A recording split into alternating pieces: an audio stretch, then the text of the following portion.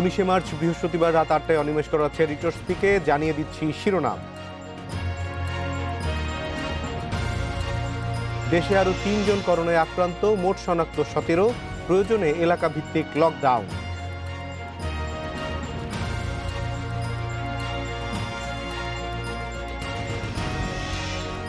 ভোগ্যপণ্যের দাম নিয়ন্ত্রণে বাজারে তদারকি শুরু। প্রশাসনের সঙ্গে ব্যবসায়ীদের বৈঠক।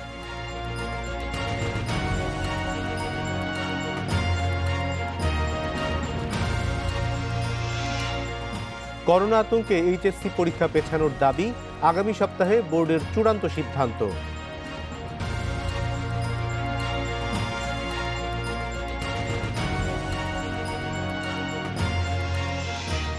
দেশে নতুন করে আরও তিনজন করোনা ভাইরাসে আক্রান্ত হয়েছেন। এ নিয়ে এই কদিনে মোট আক্রান্ত সতেরো জন। এদিকে করোনা পরীক্ষায় শিগগিরই নতুন এক নতুন এক লাখ কিট এসেছে দেশেছে। দেশে দুপুরে সংবাদ সম্মেলনে এ তথ্য জানান স্বাস্থ্য অধিদপ্তরের মহাপরিচালক আবুল কালাম আজাদ। এ সময় বিদেশ ফেরত অনেকেই হোম কোয়ারেন্টাইনের শর্ত মানছেন না বলেও অভিযোগ তার। দেশে নতুন করে করোনা ভাইরাসে আক্রান্ত তিনজনই একই পরিবারের সদস্য। ইটালি ফেরত একজনের মাধ্যমে পরিবারের অন্যরা আক্রান্ত হয়েছেন যাদের দুইজন পুরুষ অন্যজন নারী। ওই অফিস থেকে এখানে আসলাম। বর্তমানে দেশের বিভিন্ন হাসপাতালে করোনা আক্রান্ত সন্দেহে আইসোলেশনে আছেন উনিশ জন। মহাপরিচালক জানান, করোনা শনাক্তে বৃহস্পতিবার সকালেই বিদেশ থেকে দুই হাজার নতুন কিট এসেছে। শিগগিরই আরও এক লাখ কিট সংগ্রহের প্রক্রিয়া চলছে। দুই হাজার কিট সংগ্রহ করেছে সিএমএসডি। আমরা এক লক্ষ কিট, খুব অত্যন্ত অল্প সময়ের মধ্যে এক লক্ষ কিট সংগ্রহ করা এবং দশ লক্ষ এই পার্সোনাল প্রোটেক্টিভ ইকুইপমেন্ট সংগ্রহ করার ইয়েতে আছে। কোনো চিকিৎসা কেন্দ্রে এই সমস্ত পিপির কোনো অভাব হবে না। এদিকে বিদেশ ফেরতরা হোম কোয়ারেন্টাইনের শর্ত মেনে না চললে পরিস্থিতি ভয়াবহ হতে পারে বলে আশঙ্কা প্রকাশ করেন স্বাস্থ্য অধিদপ্তরের মহাপরিচালক। পরিস্থিতি নিয়ন্ত্রণে আইন শৃঙ্খলা বাহিনীকে কার্যকর ব্যবস্থা নেয়ারও তাগিদ দেন তিনি। আমাদের দেশবাসীর প্রতি আহ্বান জানানো হয়েছে যে প্রত্যেকে যার যার অবস্থান থেকে যেন জাতিকে রক্ষা করার জন্য তাদের ভূমিকা পালন করেন। অর্থাৎ যদি হলো কেউ কোয়ারেন্টাইনের শর্ত না মানেন, তারা যেন হলো আমাদের আইন শৃঙ্খলা বাহিনী, স্থানীয় প্রশাসন এবং স্বাস্থ্য প্রশাসনকে খবর দেন, যাতে আমরা ব্যবস্থা নিতে পারি। তিনি আরও জানান, বৃহস্পতিবার সকাল পর্যন্ত চব্বিশ ঘন্টায় আইডিসিআরে বিয়াল্লিশ জন চিকিৎসা নিয়েছেন আর প্রতিষ্ঠানটির কল সেন্টারে পঁচিশ হাজার নয়শো ষোলোটি ফোন কল এসেছে। সংক্রমণ ঠেকাতে নিয়ম মেনে বাড়িতে অবস্থান করার উপর জোর দেন স্বাস্থ্য অধিদপ্তরের মহাপরিচালক। Buddhadeb Kundu, independent news, Dhaka. Corona পরীক্ষার কিট উৎপাদনে গণস্বাস্থ্য কেন্দ্রকে অনুমোদন দিয়েছে সরকার। এ ট্রাস্টি জাফরুল্লাহ চৌধুরী জানিয়েছেন, অনুমতি পাওয়ার সঙ্গে সঙ্গে যুক্তরাজ্য থেকে কাঁচামাল আনা প্রক্রিয়া শুরু করেছেন তারা। আর আগামী চোদ্দ দিনের মধ্যে দশ হাজার কিট বাজারজাত করা যাবে বলে আশাবাদী চিকিৎসা বিজ্ঞানী বিজন কুমার শীল।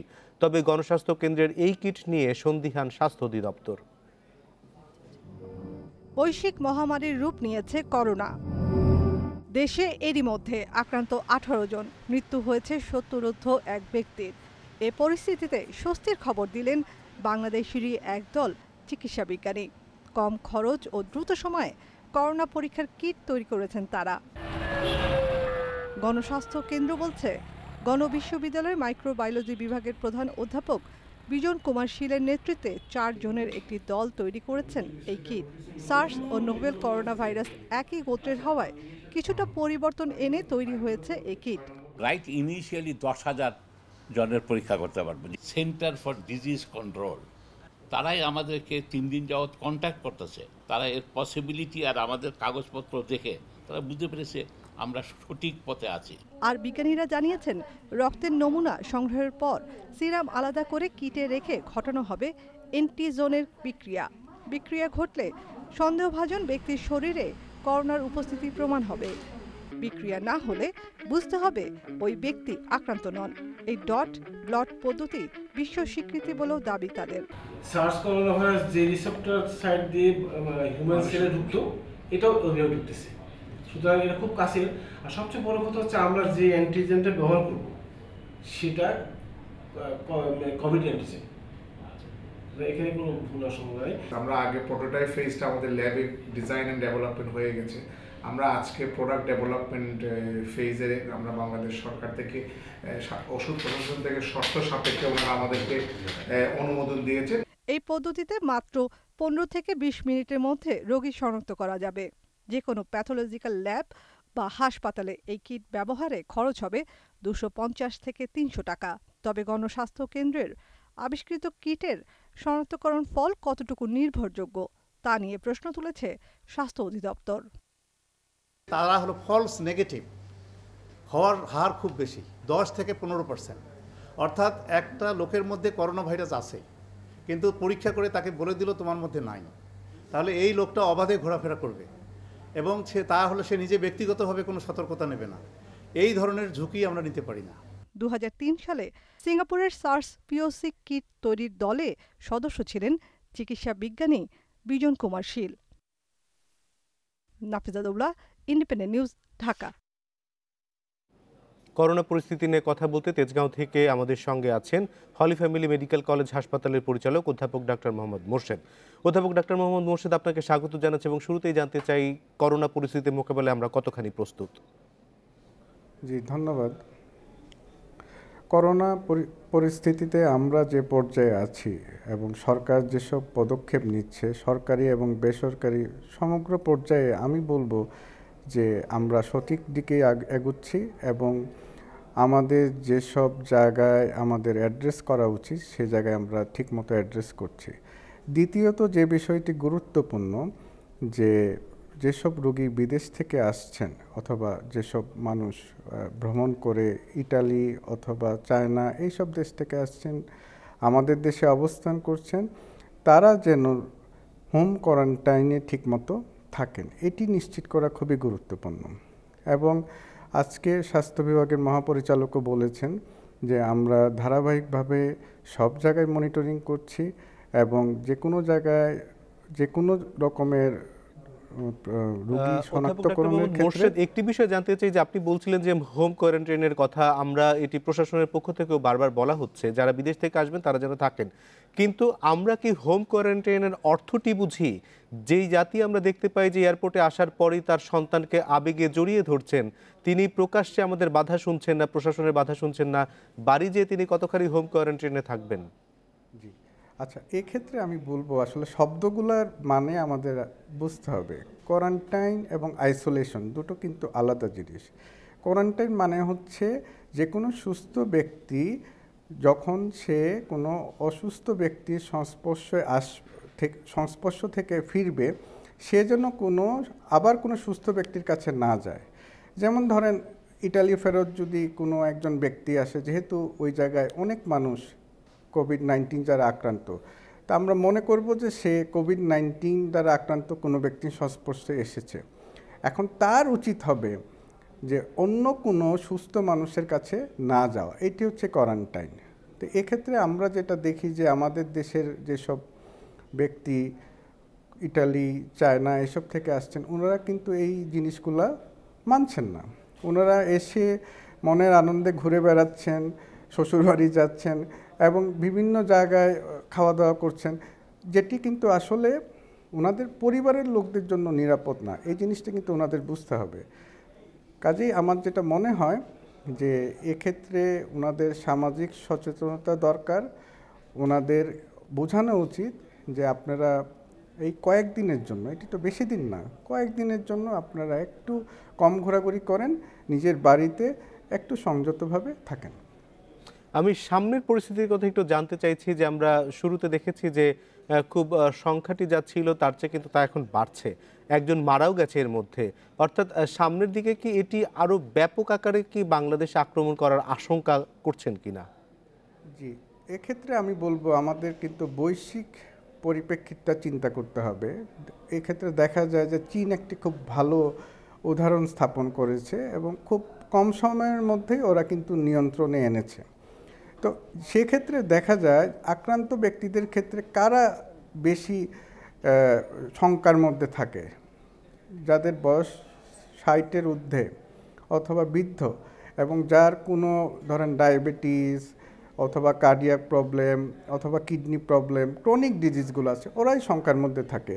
তাহলে এইসব ব্যক্তিদের একটু বেশি সাবধানতা অবলম্বন করা উচিত। এবং অন্যান্য ক্ষেত্রে দেখা যায় যে আমরা যদি চলাফেরা একটু কম করি পাবলিক ট্রান্সপোর্ট যদি একটু কম ব্যবহার করি এই কয়েকটা দিন আমার যেটা মনে হয় যদি আমরা যদি একটু সংযত আচরণ করি তাহলে হয়তো আমরা ওই বৈশ্বিক যে বিপদগুলো হয়েছে ওইগুলা থেকে মুক্ত হতে পারব। জ্বর হলে আমরা আতঙ্কিত হয়ে পড়ছি। এই আতঙ্কে অনেক ডাক্তারও সর্দি জ্বর হয়েছে এমন অনেককে চিকিৎসা দিতে চাচ্ছেন না এরকম অভিযোগ আমরা পেয়েছি। সেই ক্ষেত্রে সাধারণ একজনের জ্বর হলে তিনি কি করবেন এখন? আচ্ছা এটি আমি বলি, এটি তো আমাদের হাসপাতালের কথাই বলি Holy Family Red Crescent Medical College হাসপাতাল, প্রত্যেকটা চিকিৎসকই এই ব্যাপারে সচেতন, রুগীর চিকিৎসা দেওয়ার ব্যাপারে। আর আতঙ্কের কথা যদি বলেন, সবার মধ্যেই কিছু আতঙ্ক থাকে। কিন্তু আমাদের যদি সবাই নিয়ম যেগুলো আছে অথবা আমি বলব ইনফেকশন কন্ট্রোল প্রোগ্রাম আর প্রসিজিওর যেগুলো আছে, হাত ধোয়া ঠিকমতো মাস্ক পরা এবং ওই যে রুগীটা আসবে ওই রুগীর কাফ এটিকেট থেকে একটু দূরত্ব বজায় রাখা এক মিটার বা দুই মিটার এগুলো যদি আমরা ফলো করি তাহলে তো কারোরই বিপদে পড়ার সম্ভাবনা নাই। কাজেই আমি চিকিৎসক ভাইদেরও বলব এখানে আতঙ্কিত হওয়ারও খুব একটা কারণ নেই। আমরা যদি ঠিকমতো ইনফেকশন কন্ট্রোল প্রসিজিওর মেনটেন করে চলি তাহলে আমার মনে হয় যে আমাদের কোনো বিপদ আসবে না। এটা না, আহ, সাধারণ মানুষদের জন্য আপনার পরামর্শ কি থাকবে? কারণ যিনি জ্বরে আক্রান্ত হচ্ছেন টেম্পারেচার একশোর উপরে যখন উঠে যাচ্ছে, তখনই তার মধ্যে এক ধরনের সন্দেহ তৈরি হচ্ছে অথবা তার আশেপাশের মানুষ তাকে ভিন্ন দৃষ্টিতে দেখছে। সেই ক্ষেত্রে তার করণীয় কি? আচ্ছা সাধারণ মানুষের প্রতি আমার প্রথম যে দাবি থাকবে যে আতঙ্কিত না হওয়া এবং আতঙ্ক না ছড়ানো। এবং আমি বিভিন্ন সামাজিক মিডিয়ার ক্ষেত্রেও দেখতে পাচ্ছি, বিভিন্ন রকম গুজব ছড়াচ্ছে, এগুলো আসলে ঠিক না। প্রথম কথা হলো আপনি যে কোনো একটি ক্রাইসিসের সময় আপনাকে মনোবল ঠিক রাখতে হবে।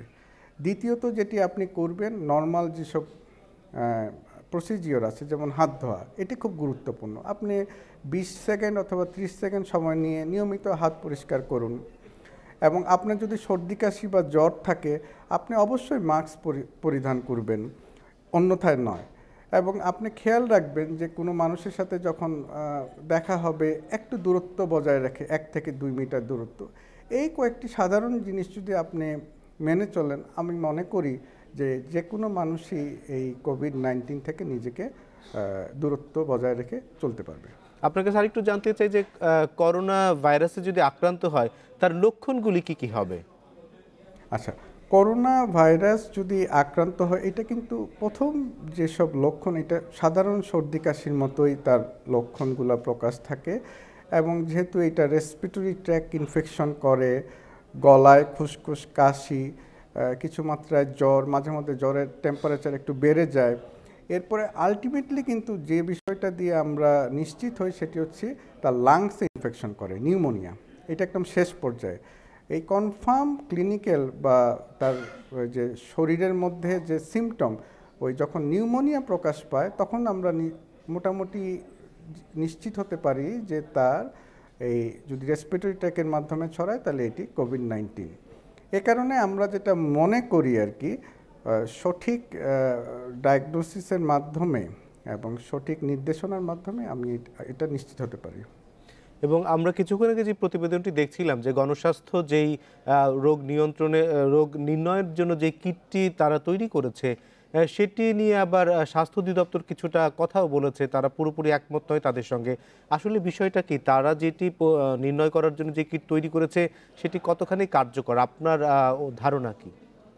আমি ব্যক্তিগতভাবে মনে করি যে এ ব্যাপারে আমাদের সতর্ক থাকতে হবে এবং যে কোনো কিট যে বাজারে ছাড়ার আগে সেটি অবশ্যই ভালোভাবে পরীক্ষা করে নেওয়া উচিত।